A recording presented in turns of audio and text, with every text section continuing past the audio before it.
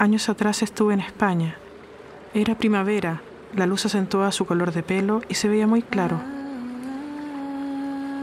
Un hombre se acercó y dijo, ¿No te da vergüenza criar hijos ajenos mientras los tuyos están en tu país? Y entonces recordé. Era pequeña y jugaba con mi abuelo. Él me dijo, mi madre era una india, era mapuche. Se llamaba Genoveva.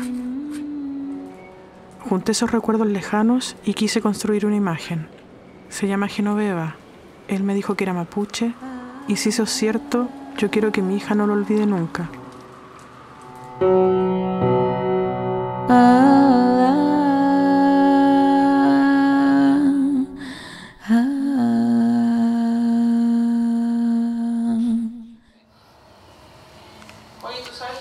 la, la, la esta que decíamos Genoveva se dice que era mapuche?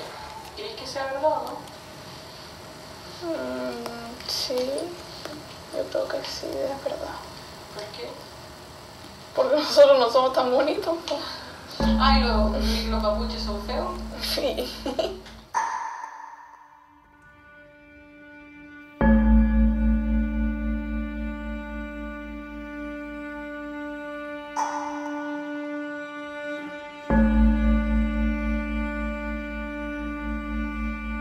Yo supuestamente tengo una bisabuela que pudo haber sido mapuche, digamos, y lo único que encontré es esta imagen. Si yo no supiera lo que tú me dices, yo inmediatamente me doy cuenta que esta persona no tiene la misma gestualidad que el resto del grupo.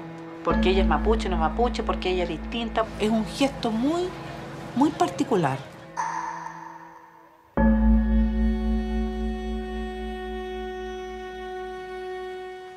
Si finalmente uno llegara a descubrir que realmente hay una como indígena, ¿te cambia algo la perspectiva? ¿Te da lo mismo? No sé, lo siento como lejano, como, un, como que no es algo como muy, no sé, como mío.